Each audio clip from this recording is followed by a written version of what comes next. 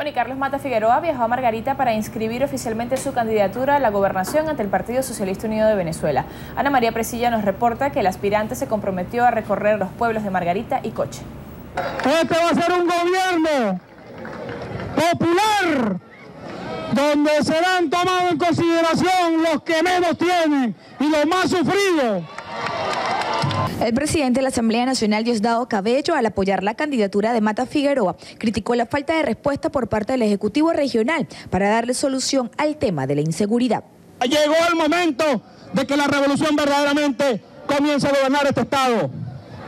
Así como se está haciendo un esfuerzo ahora allá en Juan Griego. Así debe hacerse en toda la isla. ¿Pero por qué no se hace? Porque no hay gobierno regional. Aquí el gobierno nacional hace intentos con el tema de la seguridad y no hay quien lo escuche en el gobierno regional. Cabello, en compañía de la vicepresidenta nororiental del PSUV, Yelisa Santaella, pidió a los militantes del partido mantener la unidad y mancomunar esfuerzos en pro de conseguir la victoria el 7 de octubre y luego en diciembre de este año. Desde el Estado de Nueva Esparta, Ana María Presilla, Noticiero Venevisión.